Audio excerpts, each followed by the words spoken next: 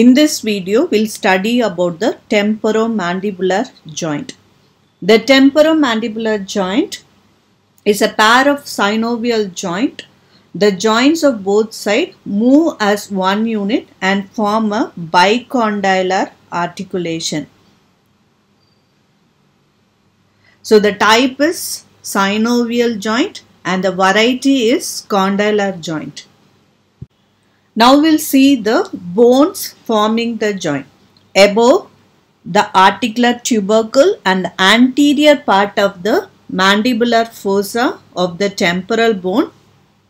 Below it is formed by the head of the mandible or the condyle of the mandible which measures about 20 millimeter from side to side and 10 millimeter from before backwards.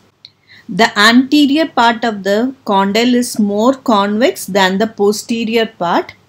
Each condyle is elliptical with its long axis oriented mediolaterally.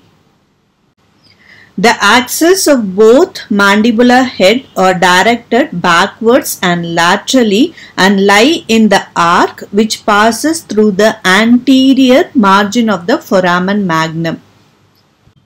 The articular surface are covered by the fibrocartilages and in between the two articular surface you have the articular disc which completely divides the joint cavity into menisco-temporal compartment and the menisco-mandibular compartment. This is a picture of temporomandibular joint taken in a sagittal section. So here you can see the fibrocartilage which covers the articular surfaces and in between you have the articular disc which completely divides the joint cavity into upper menisco-temporal compartment and lower menisco-mandibular compartment. Next we'll see the ligaments in relation to the temporomandibular joint. First and foremost is the articular capsule lined by the synovial membrane and within the joint cavity you have the articular disc and this third ligament is the lateral ligament of the temporomandibular joint and you have the accessory ligaments which includes the stylomandibular ligament and the sphenomandibular ligament. First we'll see about the capsular ligament. The capsular ligament above it is uh, attached to the articular tubercle in front and the squamotympanic fissure behind and the periphery of the articular fossa between them.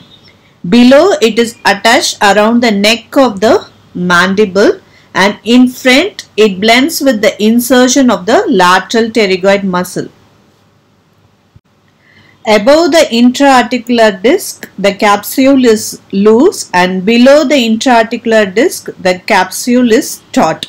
The synovial membrane lines the inner aspect of the capsule of each compartment of the joint but fails to cover the articular cartilages and the articular disc. Next we'll study about the articular disc. So this is the articular disc. So this is an oval plate of fibrocartilage which caps the head of the mandible and divides the joint cavity completely into two compartments. Morphologically, the articular disc represents the degenerated primitive insertion of lateral pterygoid muscle.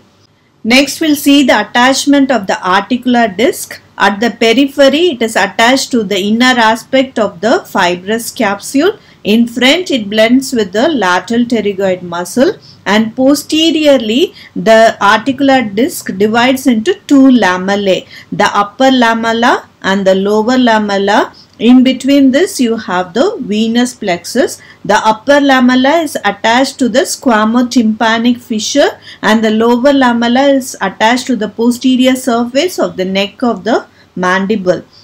When you see the upper surface, the upper surface is concavo convex from before backwards and the lower surface is concave. Structurally, The articular disc consists of five parts from before backwards. You have anterior extension, then you have the anterior thick band, then you have the intermediate zone, then you have the posterior thick band and then you have the bilaminar region, uh, upper lamina and the lower lamina. Next we'll see about the lateral ligament of the temporomandibular joint. It blends with the lateral part of the fibrous capsule, extends downwards and backwards from the tubercle at the root of the zygoma to the lateral surface and the posterior margin of the neck of the mandible. Next we'll see about the accessory ligament. First we'll see about the stylomandibular ligament. This ligament is formed by the thickening of the deep cervical fascia, extends from the tip of the styloid process of the temporal bone to the angle of the mandible. Sometimes this ligament is pierced by the cervical part of the facial artery. This ligament separates the parotid gland from the submandibular gland. Next we'll see about the sphenomandibular ligament. The sphenomandibular ligament is situated medial to the capsule of the temporomandibular joint separated by a considerable gap. The ligament is derived from the fibrous envelope of the Meckel's cartilage of the first branchial arch. It is attached above to the spine of the sphenoid and primitively it extends to the anterior process of the malleus via the anterior ligament.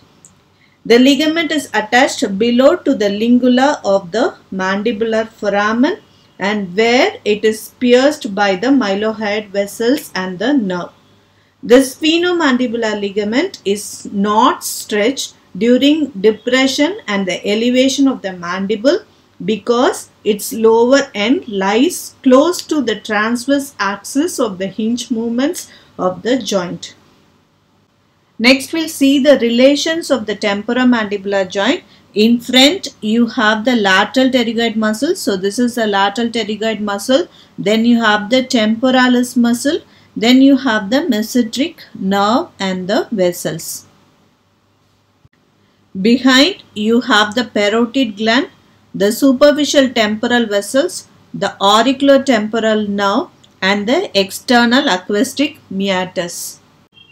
Laterally, the temporomandibular joint is subcutaneous and medially from outside inwards, it is related to the lateral pterygoid muscle.